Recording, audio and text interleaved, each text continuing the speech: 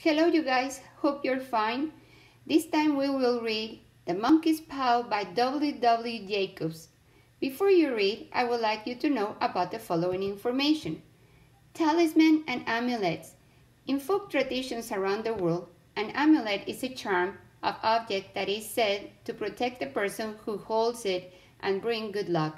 A talisman is similar to an amulet, but it is thought to bring more than good luck. It may have magical powers and may grant to its holder the power to make a wish that will come true. Hinduism. The monkey's paw in the story is said to have had a spell put on it by a fakir. In India, a fakir is Hindu holy man who has devoted his life to practice of his religion and may be able to perform miraculous feats. Hinduism is thought to be one of the oldest religions in the world. The big question is Are you superstitious? Like, are you afraid of a black cat? Do you walk under the ladder? Do you read the horoscope?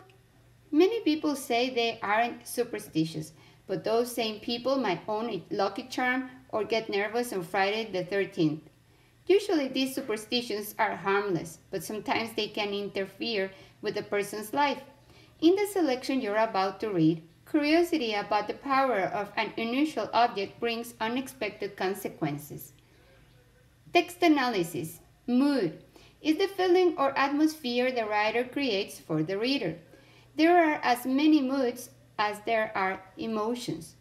Cheerful, gloomy, anxious. Writers create mood through the choice of setting including time and place, imagery, descriptions that appeal to the reader's senses, conversations between characters. For example, as the rising sun sparkled on the lake, small waves lapped energetically against the hull of the boat. My grandmother smiled. This is the best time of the day, she said. Cheerful mood is created by setting details, the grandmother's smile and the grandmother's words. Reading skill.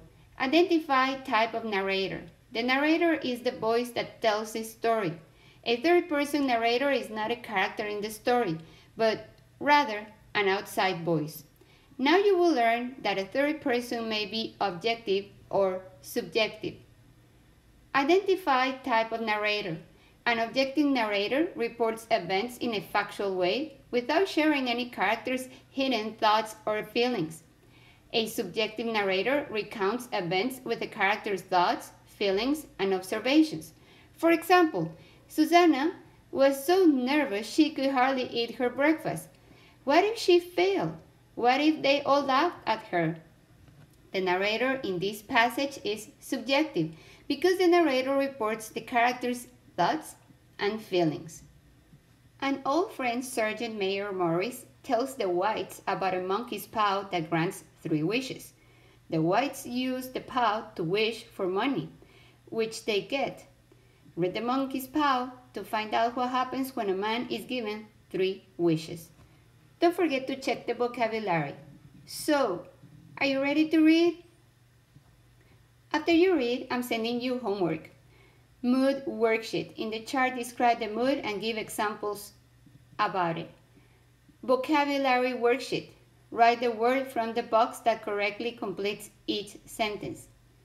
Three sensible wishes essay. In the monkey's paw, Sergeant Mayor Morris gruffly warns the whites, if you must wish, wish for something sensible. Write a brief essay describing three sensible wishes and explaining how they could circumvent or avoid the horrible power of the monkey's paw. I am sending you a how to write an essay document for you to follow. Write 200 words, write it in Word and use letter size 14. Alright, have fun!